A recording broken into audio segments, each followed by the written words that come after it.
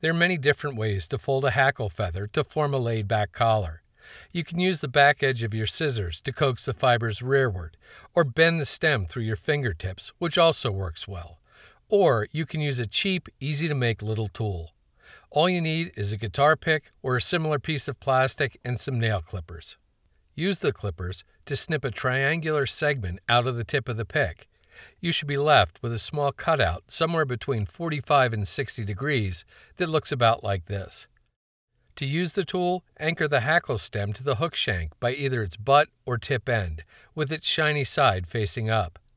Place the pick's cutout on top of the hackle stem and pull or push in the opposite direction of how the fibers slant.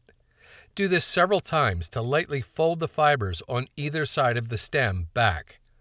Things don't have to be perfect. Just keep preening the fibers rearward as you take wraps with the hackle stem to form the collar of the fly. The tool is small enough to fit in any tying kit.